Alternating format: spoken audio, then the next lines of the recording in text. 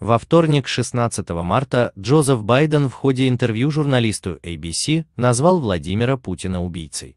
В ответ российский президент пожелал Байдену здоровья и предложил устроить публичную дискуссию в прямом эфире, которая могла бы заинтересовать граждан как России, так и США.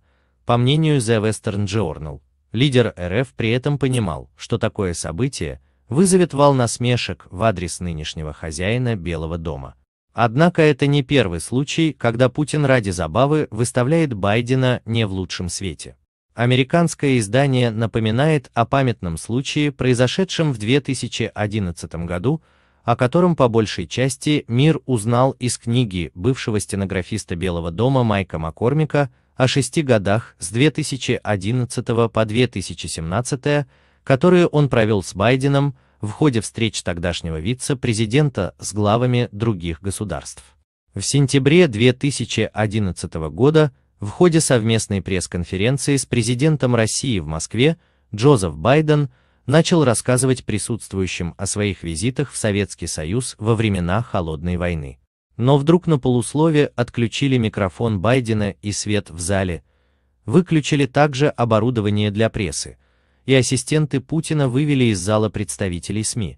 По мнению Маккормика, таким образом еще 10 лет назад Путин ради забавы унизил Байдена.